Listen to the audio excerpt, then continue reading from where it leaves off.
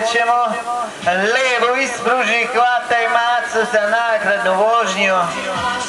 Ajmo, ajmo, pruži ruku, hvataj macu, pruži ruku, hvataj macu za nagradnu vožnju. Bravo, Bato! A vidi, Bata se oslobodio. Sad nema mnogo, samo dva kruga i maca pade dole. Osvojio besplatno sljedeću vožnju koliko bude hteo.